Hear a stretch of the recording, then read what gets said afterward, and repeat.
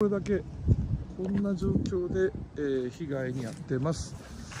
えーまああの同種のこういうポスターを剥がして別の僕のポスターに貼るっていうのが昨日からもうこれで8件目になっています。えーでまあ、このままポスターは置いといてですね、まあ、あの警察の方にこれ犯人はもう捕まってるということなので、えー要はこの3つが剥がされて、まあ、これはまあ明らかに剥がされた跡が残、まあ、これも残ってますね。でどこから持ってきてこれ貼ったのかっていうのは多分犯人も覚えてないんでしょうけどもまあかなり乱暴な人で。これを、まあ、こんなことしてたら普通は警察呼ぶなり証拠のために撮影するじゃないですか。その撮影した人を暴行して逮捕されてるということだそうです、まあ、いずれにしてもこんな感じでですね